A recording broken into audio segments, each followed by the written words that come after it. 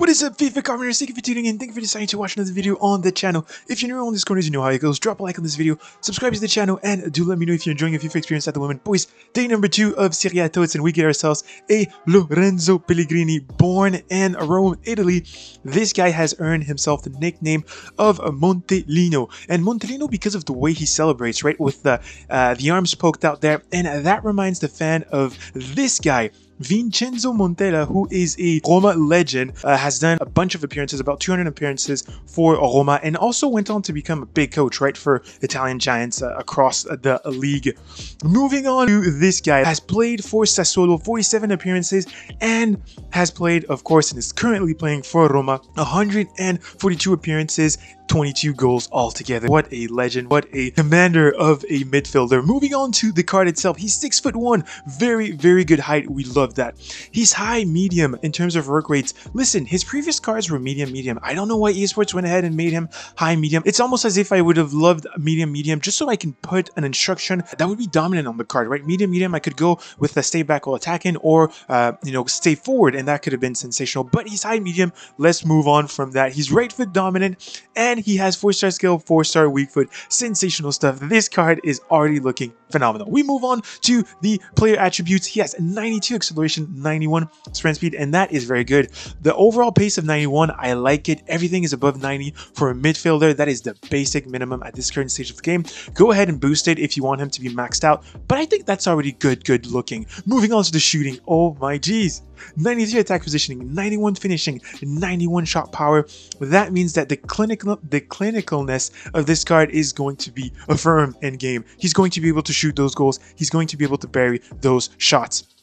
90 long shot, 83 volleys, 90 penalties. That is still very good. Moving on to the passing, it is insane. 97 vision. You combine that with the 98 uh, short pass and 96 long shot, long pass. That is phenomenal, sensational. He's going to be able to pass in any circumstance, any situation. He is. He has uh, 84 crossing, which is a little bit low. If you decided to play him in a, let's say. Uh, if you decide to play him as a cam on the wing, that could be interesting, but but keep in mind that he's not he doesn't have the crossing of dreams. The long shot of a night the long pass of 96 though is fantastic. The curve of 94 combined with the free kick accuracy of 80 is pretty decent. Moving on to the dribbling, have a bit of a bad news. He is high in average. He's high in average uh, uh, body type.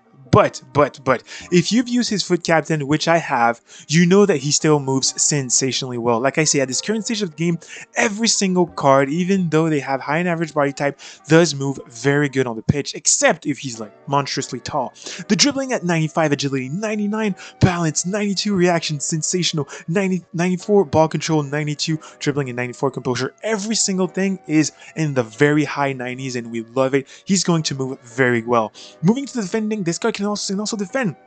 Of course, we know Pellegrini does that in real life. He attacks, but he also defends, supports the midfield. Uh, he has 83 uh, interception, 80, 84 uh, heading accuracy. You combine that with the 82 jumping. It's not that he's not that much of a threat in the box, even though he's pretty tall. Uh, he's not that much of a threat. Defending awareness of 83, stand tackling of 87, slide tackling of 85. Sensational. The defending is something that is already very present on this card but you could go ahead and boost that as well. Uh, looking like looking at the fact that the dribbling is perfect, the passing is perfect, the shooting is nearly perfect, the defending could go ahead and get a little bit of a boost.